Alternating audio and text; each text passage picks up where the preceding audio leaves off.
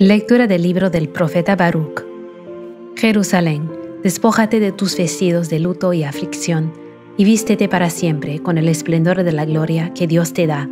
Envuélvete en el manto de la justicia de Dios y adorna tu cabeza con la diadema de la gloria del Eterno.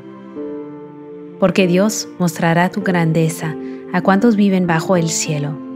Dios te dará un nombre para siempre, paz en la justicia y gloria en la piedad Ponte de pie Jerusalén, sube a la altura, levanta los ojos y contempla a tus hijos, reunidos de oriente y de occidente, a la voz del Espíritu, gozosos, porque Dios se acordó de ellos.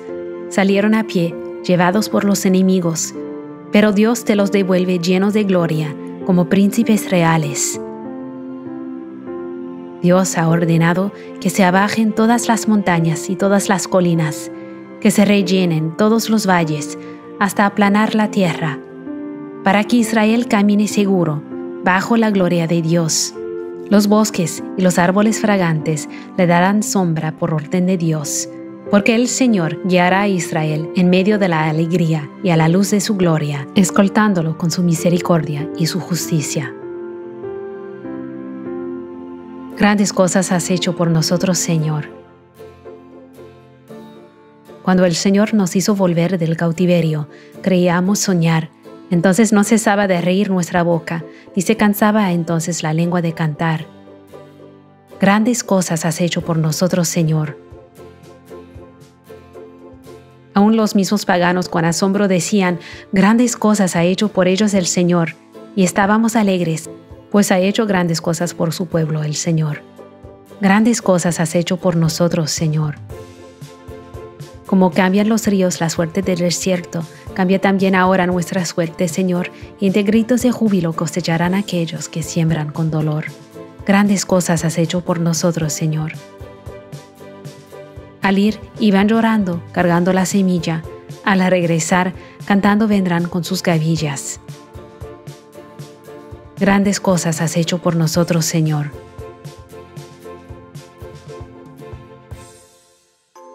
Lectura de la carta de San Pablo a los filipenses.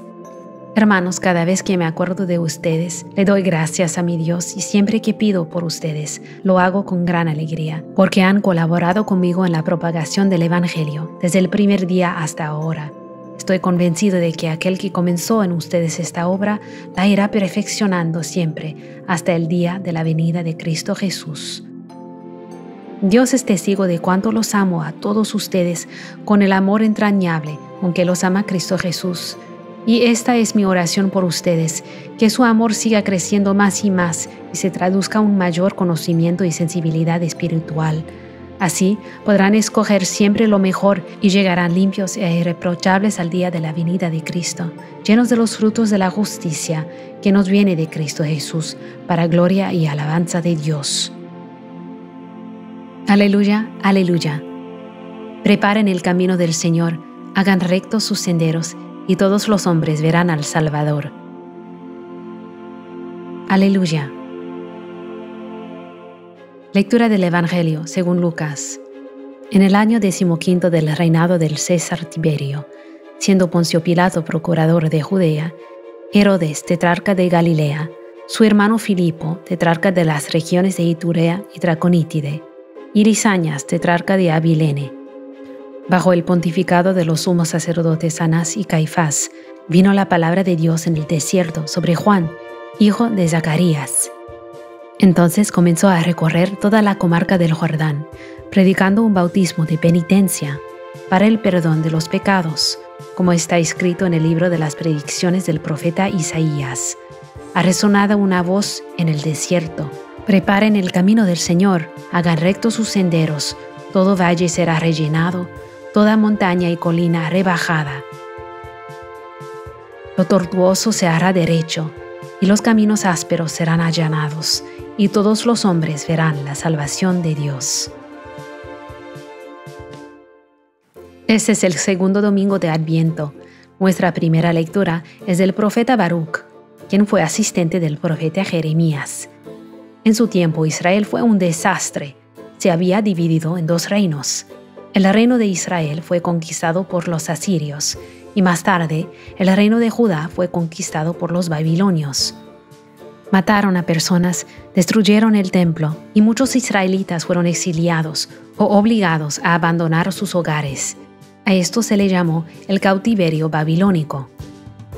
La gente sentía que Dios los había abandonado, pero Baruch en la primera lectura tenía la esperanza de que Dios vendría en su ayuda. Él escribe, El Señor guiará a Israel en medio de la alegría y a la luz de su gloria escoltándolo con su misericordia y su justicia. Dios no nos abandona. A veces, cuando las cosas se ponen difíciles, solo tenemos que esperar. En el Evangelio de Lucas, 500 años después, las cosas tampoco van bien. Escuchamos nombres de muchos de los líderes de la época que eran personas violentas y malas. Pero luego Lucas escribe, vino la palabra de Dios en el desierto sobre Juan, hijo de Zacarías, Ninguno de esos malos líderes escuchó la palabra de Dios. Juan en el desierto lo hizo. Juan les dice a todos que preparen el camino del Señor. Como Baruch, Juan el Bautista tiene fe en que Dios va a hacer grandes cosas y todos deben estar preparados. Habla de un bautismo de penitencia, que es un símbolo del Éxodo, cuando los israelitas pasaron por las aguas del Mar Rojo y fueron liberados de Egipto. Necesitamos estar libres de nuestros pecados para poder seguir a Dios cuando Él hace algo grande. Él viene. Prepárense. No olviden hacer clic en me gusta y suscribirse. También pueden apoyar a Catholic Miriam en Venmo de Patreon usando los enlaces en la descripción. Gracias por ver.